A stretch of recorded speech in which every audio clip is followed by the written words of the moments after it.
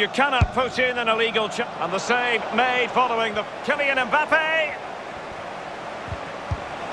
Oh, burying them beneath an avalanche of goals. No let up here.